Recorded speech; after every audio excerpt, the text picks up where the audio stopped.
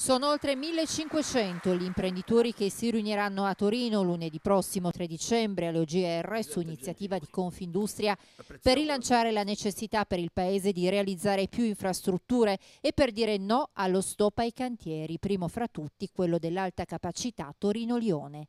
Si tratta delle 33 sigle che lo scorso 10 novembre avevano consegnato al prefetto un documento con le stesse richieste nel giorno della manifestazione SITAV che aveva radunato in Piazza Castello oltre 40.000 persone.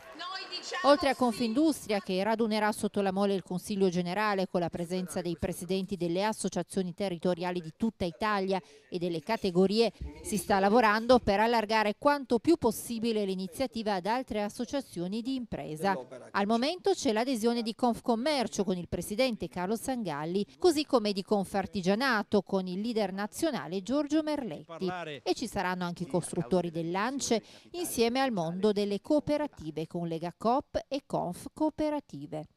un'assemblea generale, quella del 3 dicembre, che lancerà un messaggio chiaro e preciso al governo a due giorni da un altro step determinante nel braccio di ferro sulle grandi opere. L'incontro di mercoledì 5 dicembre a Roma tra Confindustria e il Presidente del Consiglio Giuseppe Conte, il Vicepresidente Luigi Di Maio e il Ministro dei Trasporti Danilo Toninelli, che dovrà chiarire una volta per tutte se si intendano sbloccare i bandi di gara di Telt in attesa dei risultati della valutazione costi-benefici.